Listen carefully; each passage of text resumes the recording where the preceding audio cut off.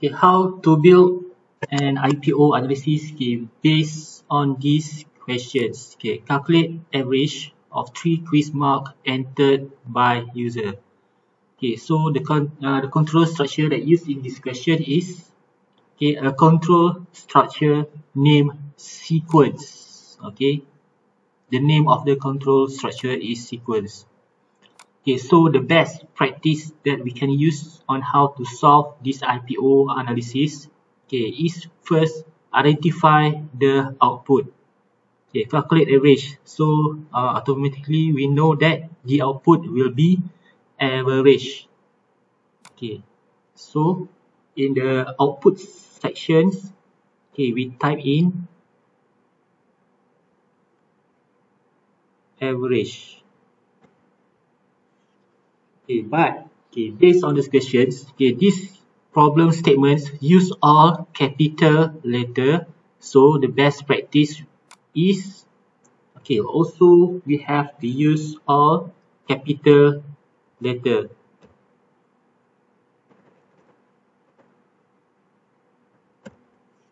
Okay, now we have identified the output. Okay, the input will be three quiz marks. Okay, so as uh, we know before.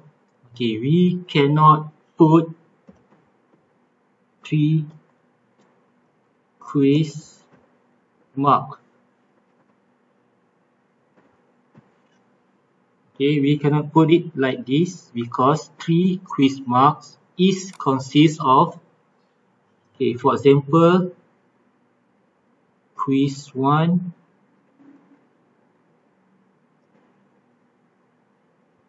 quiz 2 just use comma and then quiz 3 okay because computer cannot understand what is 3 quiz. Okay what computer can understand is only if we separate the 3 quiz to quiz 1 quiz 2 and quiz 3 okay next uh, how to write the process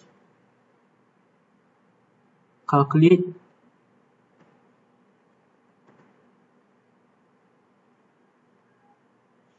Okay whatever here that we write on the output sections okay we copy and paste here.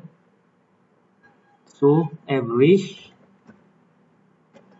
use the words based on and then whatever that we put here in the input sections okay just copy and paste here based on quiz 1 quiz 2 just use comma quiz 3 full stop. Okay that is how we uh, uh this is how we able to solve the problem statement for these particular questions